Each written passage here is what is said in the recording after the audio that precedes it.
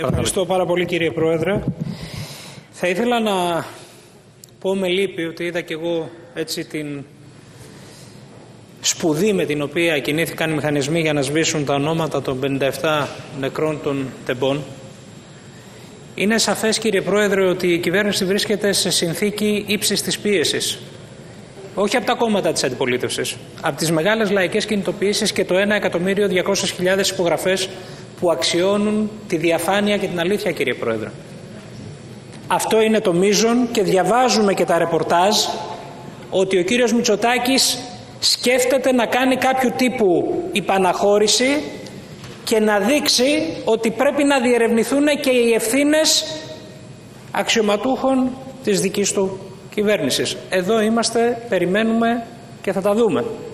Και αν σβήσαν τα 57 ονόματα, αυτές οι υπογραφές οι οποίες πάρα πολύ σύντομα θα έχουν φτάσει στο 1,5 εκατομμύριο δεν θα σβήσουν με τίποτα και από ό,τι φαίνεται, εκτός από τη χτεσινή μέρα που καθόρισαν την ατζέντα, μαζί με τη μεγάλη λαϊκή συμμετοχή, ενδεχομένως να καθορίσουν και να πυροδοτήσουν και πολιτικές εξελίξεις.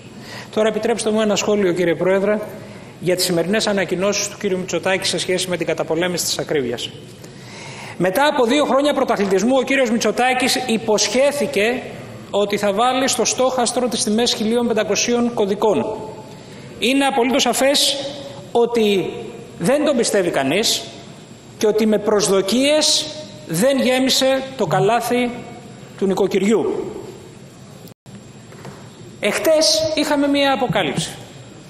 Σε ερώτηση σχετική, εδώ ζωντανά, του Προέδρου της κοινοβουλευτικής μας ομάδας, του Σοκράτη Φάμελου, ο κύριος Θεοχάρης μας έκανε καθαρό ότι για την κυβέρνηση Μητσοτάκη κύριε Πρόεδρε δεν υπάρχουν υπερκέρδη δηληστηρίων το 2023. Δεν έχουμε να προσδοκούμε τίποτα. Το 2022 τα φορολόγησε με τον κατώτατο συντελεστή που προβλέπεται από τον Ευρωπαϊκό Κανονισμό και θεωρεί ότι έχει τελειώσει εκεί η υποχρέωσή της. Συνεπώς το τελευταίο που μπορεί να περιμένει κανείς από την κυβέρνηση Μητσοτάκη είναι να καταπολεμήσει την ακρίβεια διότι γνωρίζει και ο τελευταίος δρόν στην ελληνική αγορά ότι οι τιμές ενέργειας είναι η ρίζα της ακρίβειας η οποία ακολουθεί όλη την εφοδιαστική αλυσίδα μέχρι το ράφι που ο καταναλωτής βλέπει τα προϊόντα.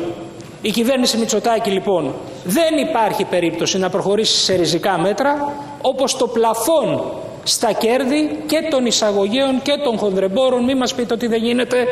Έγινε για τα είδη πρώτης ανάγκης όταν ξέσπασε η, η κρίση του κορονοϊού. Είναι πολιτικές έξω από τα τετριμένα και από το κουτί της οικονομικής πολιτικής που έχετε επιλέξει να ακολουθείτε, όπως και η μείωση των έμεσων φόρων, όπου εκεί έχουμε μια κυβέρνηση η οποία εθελοτυφλεί και δεν επιθυμεί να την καταπολεμήσει. Το κάνει για δύο λόγους, ολοκληρώνω κύριε Πρόεδρε. Πρώτον η φοροσυλλογή. Μαζέψατε από ΦΠΑ, κύριε Πετραλιά, 7 δισεκατομμύρια παραπάνω το 2023 σε σχέση με το 2021. Μιλάμε για 40% αύξηση.